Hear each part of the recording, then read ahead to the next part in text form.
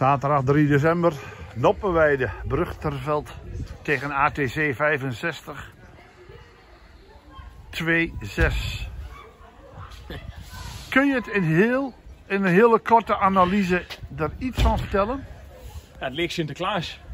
In ieder geval in de tweede helft.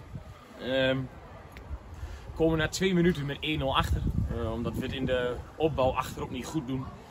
Uh, Thijs hoorde niet dat hij gecoacht werd, speelde de bal niet uit. Uh, sta je 0-1 achter. Ehm verderop in de eerste helft. We, begonnen in een systeem wat vandaag niet goed uitpakte. Ehm dat zetten we om na 20 minuten. Kregen we ietsjes de overhand. Uh, creëren we kansen. En dat doen we goed. En op dat moment uh, is het wachten totdat we de gelijkmaker scoren. op een bepaald moment goed van Thijs herstelt, uh, stapt in op het middenveld, dekt door, wint de bal, stuurt Luc Roeleveld in de diepte. En we scoren de 1-1. En in de rust zeggen we nog van hey, op deze manier doorgaan. Ja. Um, dan komt het goed. Dan niks aan de hand. Dan is er niks aan de hand.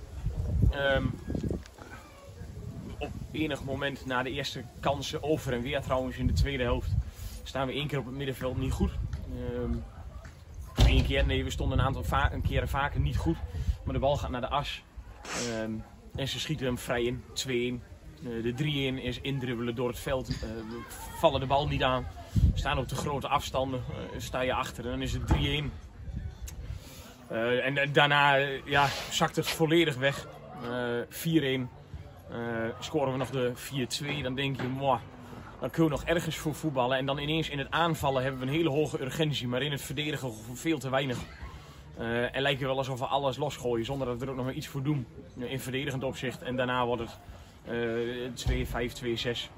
Volledig weggecounterd. Ja, weggecounterd. En dat doet ja. ATC hartstikke goed. Ja, dus... wij, wij, spelen nog voor het resultaat. ATC speelt ons, uh, of schakelt heel goed om, kilt de wedstrijd. En dat zouden wij eens moeten gaan doen met de kansen die wij krijgen. Ja. En dat is het. Duidelijke analyse. Ja. Volgende week nog één keer voor de winter uit naar Richtersbleek. Ja. We, ke we, kennen ze inmiddels. We ja, weten wat, wat, ze, wat, ze, kunnen. Goede wedstrijd gevoetbald in de beker. Ja. Uh, ja, misschien wel de wedstrijd om juist de rug te rechten.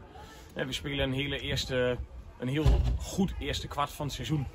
En het, uh, het, het, het, tweede kwart valt gewoon heel erg tegen tot op dit moment. En sommige wedstrijden, dan kun je dat prima analyseren. Maar ja, als je kijkt naar vorige week SVVN en vandaag ATC, dan is het niet nodig op deze manier. Dan wil het nog niet zeggen dat je elke wedstrijd wint. Maar op deze manier mag je niet verliezen, klaar. Een paar belangrijke schakels die je mist.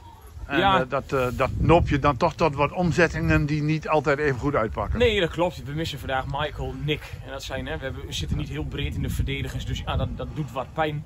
Daardoor moet je ze schakelen en spelers die je misschien liever hoger op het veld wil hebben, die heb je in de laatste lijn staan. Of uh, als controleur, terwijl ze liever, of liever, maar zodat ze beter uit de voeten komen op 10. Ja, dus dat is aanpassen. Maar daar heb je mee te maken. En dat staat los van de manier waarop we vandaag de doelpunten tegenkrijgen. Nou, we gaan het zien volgende week. Yes. Hopelijk doet het Nederlands zelf al even iets beter. Laat hopen. Dank je.